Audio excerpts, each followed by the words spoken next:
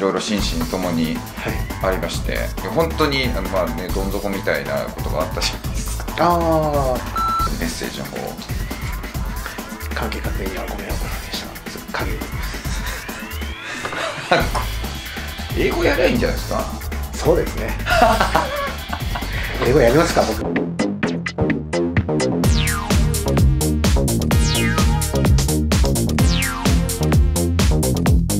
さて始まりました「無鉄チャンネル」さん今回は松原さんにおいでいただきました。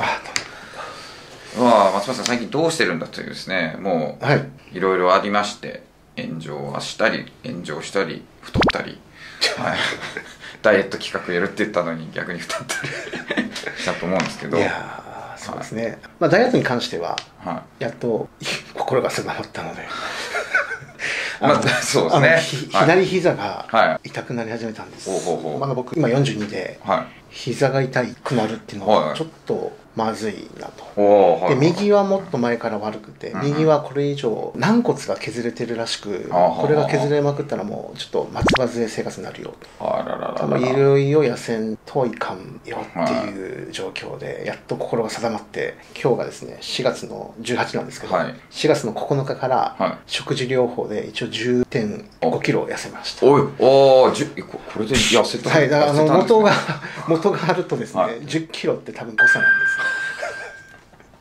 なるほど。はい、はいで今は、まあ、結局いろいろやったんですけども、はい。1日の摂取カロリーをコントロールするって方に振りまして、で朝は僕食べなくて昼をブロッコリーだけにしてでブロッコリーと少しその低糖質のパンを少しかじるぐらい。夜はやっぱ会食もあったりやっぱ夜食べる寝る時に幸せな気持ちで寝たいので夜は食べますと。そういう感じなんですね。まあいろいろ心身ともにありましてで本当にあのまあねどん底みたいなことがあったじゃないですかああはい。ごご迷惑をおかけします何度も何度も何度も何度もしゃべるええ。ああの時でもね、はい。本当に病んでましたよね。まあそうですね。まああの僕個人的にはは病んでるつもりはなかったんですけど、はいはい。森田さんからは病んでたからと。うん確かにまあちょっといろいろ僕がやらかした部分が多かったからですね。はい。そうですね。本当に関係確認にはご迷惑をおかけした限りで、まあ基本的に連絡ミスです。はい。基本的に連絡のミスってことです。うん。まあうんでもそうでもないとまあうん。まあもっと僕はちょっとやらかしてると自責があります。はい。はい、そんな、そんな。感じゃあ、まあ、今日、今回のあの、えーサムネは謝罪ということで。松原さんが謝罪に来たっていう動画になりますんで。まあまあまあまあ、そうですよね。はいいろいろありまして、まあそこから、まあ本当憶測がバーッとああいっぱい来たんですけど、まあ、じゃあ、それ、じゃあ、メッセージの方を。いやもうねしっかり運営いただいてありがとうございます もう僕がやるよりも100倍いいと思いますはい。あそれはもう今のカットでお願いしいやいや、もう今のところはもう、あの、P ばっかりで。ますいや P ばっかりが逆にまずいかもしれないです僕だって細井さんに毎回聞かれますから、もう、行くたんびに。あ僕のことですか？もうその松原さんのこと聞かれたりとあかあ企画としてどうなんみたいな言われたりするんで。多分まだ出てないですけどミュージックエイトまだ出てねえなと思っていろいろ物申してる動画もあったりするんで。あそうですね。まあ某人と僕がそのバトルしてるみたいな動画もミュージックエイトで撮りましたけどねその時止めましたよね。出すのやめてくださいってなりましたよね。ありましたよね。そうですね。もうちょっと僕としては。あれお蔵入りになっちゃったんだと思って僕は全然気にしないんではい。いやいやもうちょっとね。いやいやいやい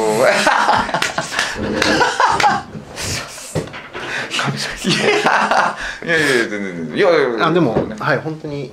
細井さん全然気にしないからそういうの、えもう全然気にしないで2人で喋っちゃったら、はい、松原さんが「ダメです」って「やめです」ま あちょっとねあの恩義がある方にはうん僕はねねちょっと不義理はできないなとさすがです、素晴らしい方だと思っております。いや。はい、皆さんこの素晴らしい松原さんを応援してあげてください。お願いお願いします。一応仲良くやっていますので。はい。ねはい。あとはねジャッジメントもね。あそうだ。ジャッジメントも 謝罪です、第第2弾が全然出ております。ただあのまあ言い訳ではないんですけども、ね、タワスさんにフォーカスしたかったっていうのもあって、はい。まあ、結局萌田さんがフォーカスしていただいただけなんですけど あでも僕も一応裏ではあはいそうですね。あのはい動けるところは動いてはい。田橋さんもちょっとね今回惜しいところだったんですよね、だから田橋さん終わってしまったので、うん。次の方、く来るんですか？一応面白そうな言いますけあどね。ららなるほど。この方で行くかみたいなのもあったりしたんですか、まあいろいろとね、まあ、編集だったり撮影だったり結構なはい。お金と時間がかかっておりますので、うん。なかなかその分人がたくさんいるとなかなか進まないっていうね。そうですね。もあったんででもやっぱり志願者のサポートをするっていうはい。ところにやっぱこう立脚していきたいので、はい。また今後ともあの追いかけ続けていただきたいなと。あわかりました。追いかけ続けて皆さんが応援したいと思える人を、ね、しっかり見つけていくのが僕らの責務かなとそうですね、まあ、思ってますね。まあまあ、ふっかるですし、まあ、もともとね、僕そういうことでね、一緒にお仕事を始めてますからね、僕はもうその追っていくっていうのが仕事だと。お願いしたいなかなかね、他の人だとそういうことって難しいと思うんでね。そうですね。田橋さんの関連動画も月3本ぐらい出てますよね多分ね。まあ、もう、まあ、その受験終わってしまったんで、どうするか。はい。あそうですね。また、はい。30万円は一体何に使われたのかわかんないですけど、確かに。たわしを使うなとかで、いやいやいや、払ってるから、めちゃめちゃ払いましたけどさ。ねすはい。ごい懸命に頑張っていただいたんで、はい。ね、悔しかったですけどねそうですちょっとね。うん。残念だったんで、もう、そういうこと、たわしさん終わってしまいましたんで、うん次が、はい。そろそろ動かないといけないと思いますのでそうですね。でもなんか次も動いていきますし田橋さんになんかもう少しなんかねできることないかなってまた今考えてますけどね。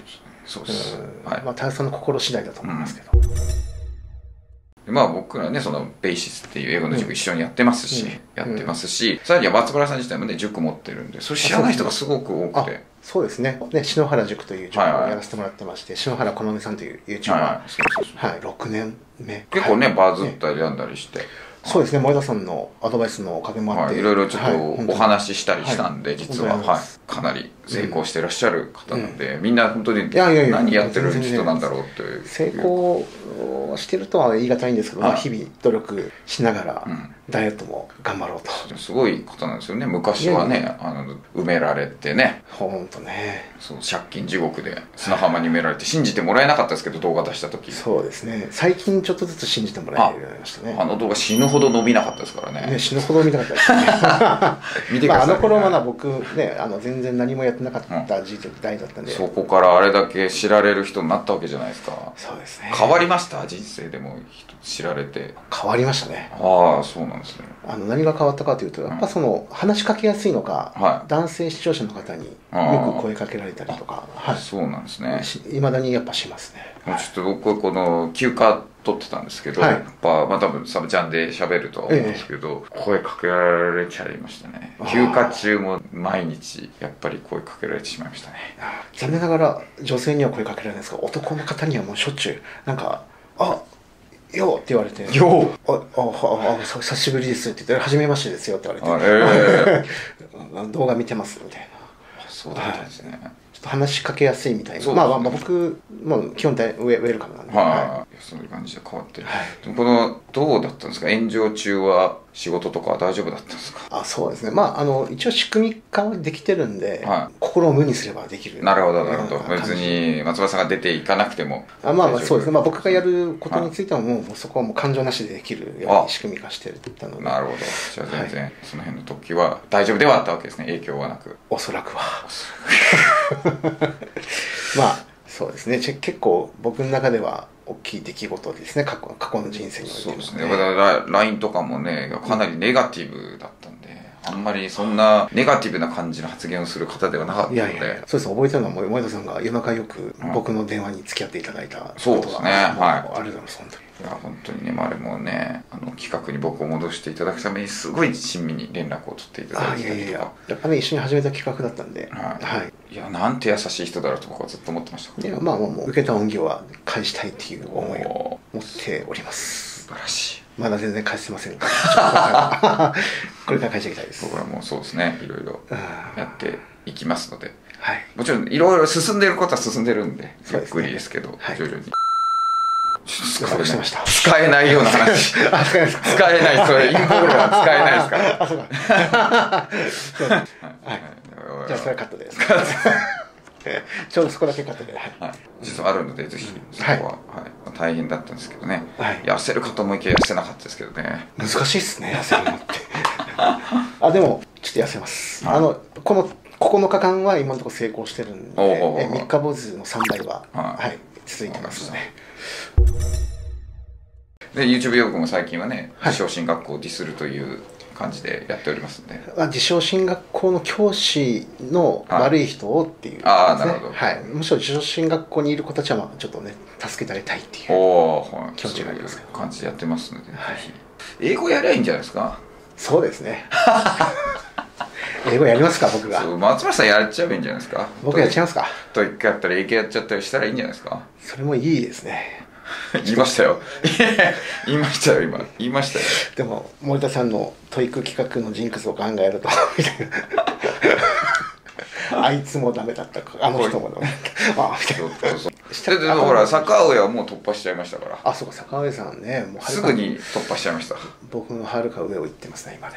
そうだからあと TOEICプロジェクトの方はやっぱ真面目なんで社会人の中でも。あ結構やっぱ伸びるんでね。ただ動画は伸びてないんで。だから松原さんがそこにいればなっていう。何にも言わずにもう勝手にね動画撮って勝手にこうやって今やらせようとしてます。あ何の打ち合わせもないですね。ぜひ楽しみにしてください。はい。もう今松原さんは多分この動画どう編集されるのかビクビクしながら。ビクビク。いいと思いますね、あのはい。はい、いつも本当にありがとうございます。ということでした。はい。ご視聴ありがとうございました、うんあ確かに僕がやっても面白いんですかね。いやでもだ絶対そうですよ